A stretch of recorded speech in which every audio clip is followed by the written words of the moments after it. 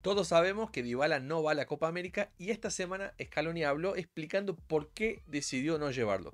La verdad que la explicación dejó un poquito, digamos, de espacio para opinión, para poder opinar porque es un poquito confuso y un poco cuestionable la decisión. Pero bueno, eso quiero que lo analicemos en el video de hoy. Bueno, en este primer episodio nosotros estuvimos hablando sobre la lista, los 29 nombres que Scaloni convocó y de los cuales va a cortar 3. En estas declaraciones que él dio explicó el por qué convocó 29 y cómo es que va a armar, cuáles son las dudas que él tiene. Eso es lo que vamos a escuchar ahora para poder analizar. Pero, como siempre les digo, me interesa mucho saber la opinión de ustedes. Así que pongan en los comentarios si ustedes están de acuerdo, si creen que está bien que Dybala no vaya a la Copa América o si es una equivocación. Y bueno, qué les parece, si hay otros jugadores mejor, todo. La opinión de ustedes me parece importante. Vamos a escuchar a, Scaloni y hablar, porque por más que Scaloni ya nos demostró que tenemos que confiar en él, pero eso no quiere decir que uno siempre haga todo bien. Uno puede opinar igual. Así que vamos a empezar a escuchar un poquito de lo que él dijo y después hablamos de cómo está la lista y cuáles son los jugadores que deben terminar yendo de acuerdo a lo que él dio a entender. ¿Cuál fue el argumento puntual que encontraron en el cuerpo técnico, por ejemplo, para prescindir de Paulo? Tenemos algunos jugadores con, algunos inconvenientes y, al final este, tenés que tomar decisiones, eh, sobre todo porque tiene que ser una lista equilibrada y no puede haber eh, eh, en diferentes posiciones cinco o seis jugadores del mismo, del mismo puesto. entonces, bueno, viendo, viendo esto, si no hubiéramos tenido problemas físicos de algunos jugadores, hubiera sido diferente, eso es evidente, no solo no solo con él, sino con otros chicos que tampoco están. El tema de Ibala fue...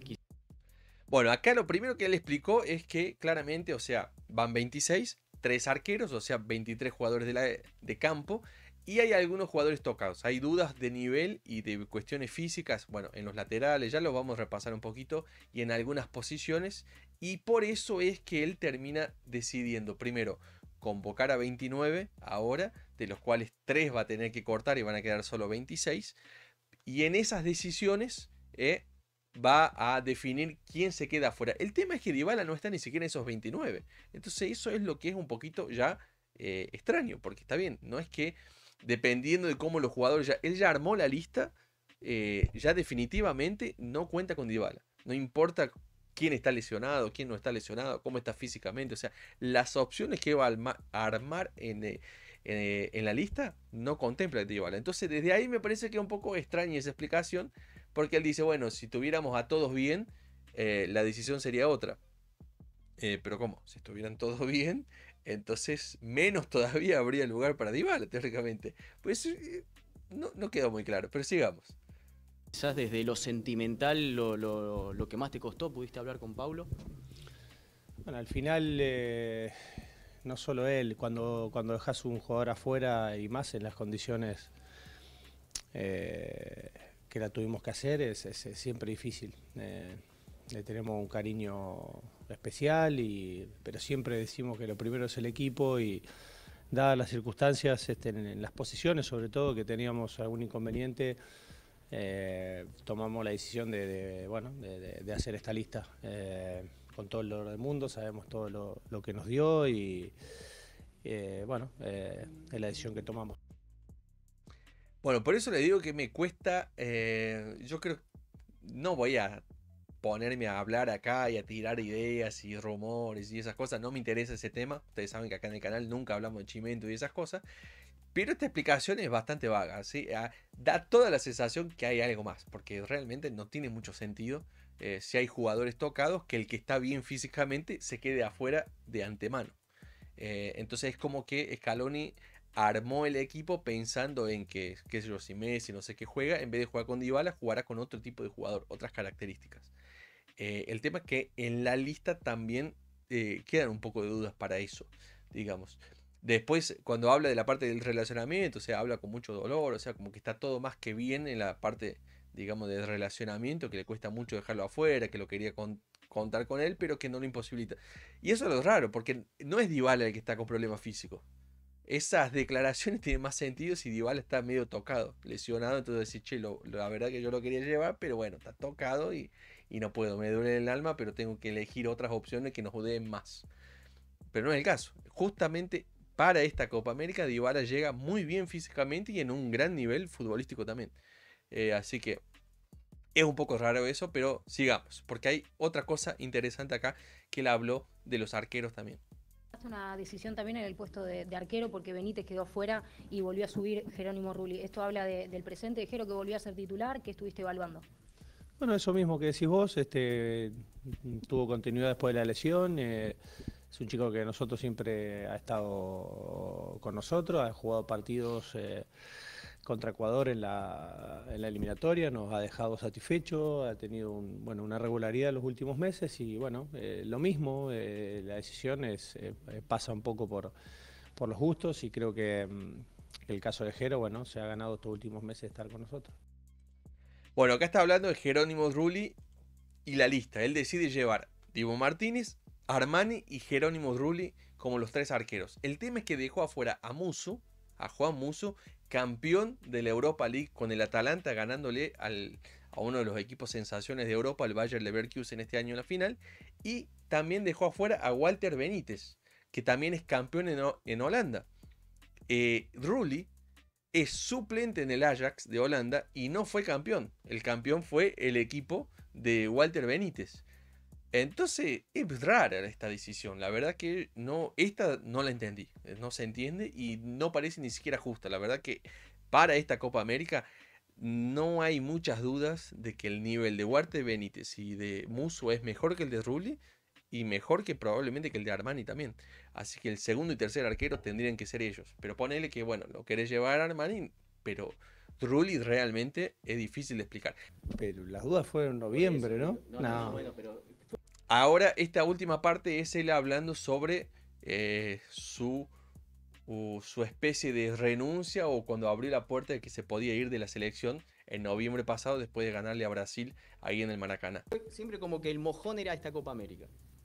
Pero ¿quién lo dijo eso? Por eso digo, ah, nosotros hablamos más que de lo que hablaste vos, ahora es momento de que hables. No, no, bueno, yo ya, ya expliqué lo de noviembre, que creo que lo sentía, lo tenía que, que hablar, lo tenía que sacar afuera, era una cosa que no, había pasado un buen año a nivel de todo tipo y sentía que era el momento para, lo que dije, parar la pelota. Lo que pasa que después, bueno, eh, es lógico, ustedes pueden pensar un montón de cosas, pero sí que creo que era el momento y juntar fuerza, eh, compartir con todos los que rodean a la selección, incluso con mi familia, con toda la gente, y comentar lo que realmente estaba sintiendo y, y, bueno, tirar para adelante. No hay ninguna duda que soy el entrenador y hasta que el presidente, la AFA quiera, estaré y sabemos cómo es esto del fútbol, pero hoy estoy acá, estoy con todas las energías, cosa que en noviembre, siendo sincero, no, no estaba tan bien y lo necesitaba decir por el bien de todos, creo que era, era justo decirlo. Bueno, yo creo que en esta parte él realmente fue sincero, pero creo que merece hablar un poco sobre el tema. Te pido 30 segunditos que me banques con el chivo y ya seguimos con este video. Si todavía no conoces, tenés que conocer Pro Jersey Shop, donde te podés comprar tu camiseta de fútbol, la versión jugador como esta del Arsenal, está espectacular, impresionante. Podés comprar la versión jugador o la versión hincha de la camiseta que quieras, por ejemplo esta de Argentina, ¿ves? Esta es la versión jugador de Messi, y si no tenés esta, la suplente con la versión hincha donde está el escudo bordado. La podés personalizar al nombre como vos quieras, Tenés los buzos también, son espectaculares, una calidad increíble. Esta camiseta histórica de Maradona en el 94 es una locura. Pro Shop, si usas el código leyendas, tenés un 12% extra de descuento. Y si usas leyendas 15 para pedidos con 150 dólares o más, tenés un 15% extra de descuento. Acuérdate que esa es una forma también de ayudarme a mí y al canal cuando vos compras usando nuestro código también estás apoyándonos. Así que si querés bancarnos y querés tu camiseta, no dudes en Pro Jersey Shop. Anda ahora. Bueno, entonces antes de hablar de la lista y esto, quiero dar mi opinión sobre el tema de la renuncia de Scaloni. Eh, la verdad es que yo creo que es sincero, realmente todas las teorías de conspiración, todo lo que se habló, que tenía que ver con el tema político, con masa, que tenía que ver con una fiesta de joda de los jugadores, que tenía que ver con un problema de relacionamiento con el plantel porque quería cambiar jugadores, eh, que tenía que ver con Messi y no sé qué, que tenía que ver con que no le pagaban, nada de eso con una pelea con Chiquitap, nada de eso es así. La verdad es que realmente él tenía, por lo visto, un tema de, energías, un tema de saber si, si estaba para, para seguir, poner en juego su, Porque digamos así, hoy Scaloni es rey, campeón del mundo, campeón de la Copa América, es Dios. Pero bueno, ahora hace una convocación, le empiezan a cuestionar los convocados y si le va mal en la Copa América, bueno, el rey inmaculado empieza a tener sus problemas. Entonces, si él no tenía que ver si tenía ganas de ponerse en el barro, ensuciarse de nuevo. Y me parece que venía por ahí la mano. El tema es que la forma como él lo manejó fue pésima. O sea, él generó un quilombo bárbaro. Ahí él dice en la conferencia, ustedes, los periodistas, terminan elocubrando, sacando un montón de conclusiones, que sí, pero fue él que abrió las puertas, porque realmente la declaración y el tema que él hizo fue muy extraño. El tipo eh, sembró una duda y armó un quilombo donde realmente era para pensarse cualquier cosa. Eh, parecía que algo serio pasaba de verdad. Entonces, eh, después todo el mundo empieza a inventar historias, pero bueno, pero quien la fomentó fue él. Entonces me parece que ahí, si bien él fue sincero y tenía que ver con algo de él, me parece que la forma como él condució todo eso fue muy mal, porque empezaron a pasar las semanas y se armó un quilombo bárbaro, no lo, no lo desarmó el quilombo, dejó que crezca, que crezca, y después de semanas, de meses, el tipo simplemente dijo, no, estoy bien, hablé con Chiqui, llegamos y ahora dice, y entonces, viste, che, loco, medio que, ¿para qué tanto quilombo entonces? Pero bueno, la lista es esta, de los 29 jugadores que hablamos. De estos 29, déjenme poner con esta otra imagen que se ve un poco mejor.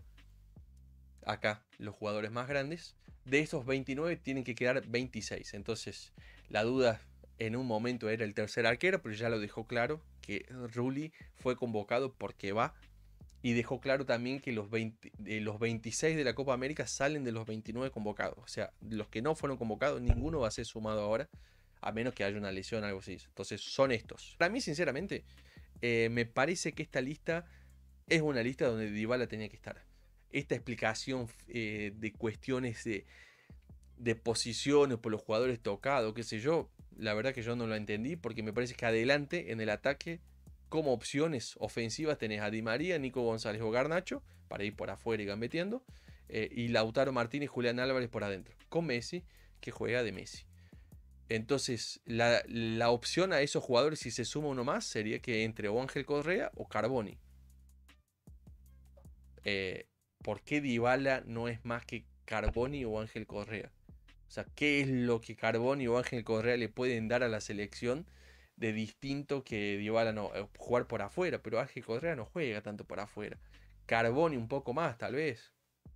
Por eso es que me parece que no, no queda del todo claro eh, la explicación. La verdad que no lo entendí. Claramente Dybala también declaró bajando humo, o sea, bajando el conflicto, diciendo que iba a apoyar, que estaba todo bien, que a pesar de que le dolía, lo entendía.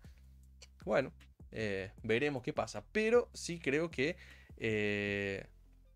yo, desde mi opinión, Dybala tendría que ir. Tendría que tenía lugar para estar en esta Copa América. Y el tema de los arqueros también me parece que no estoy de acuerdo. Creo que eh, Musu y Walter Benítez tendrían que estar también. Entonces, bueno. Pero bueno, me interesa, como ya les dije, saber la opinión de ustedes. Díganme qué creen, qué piensan, si están de acuerdo con Scaloni, si les gusta la lista o no. y principalmente si les parece que la lista está completa, ¿no? En cuanto a jugadores que van por afuera, que van para adentro, para atacar, para defender, para armar la mitad de la cancha, bueno, todo eso. Pongan los comentarios y después vamos a hacer un otro video.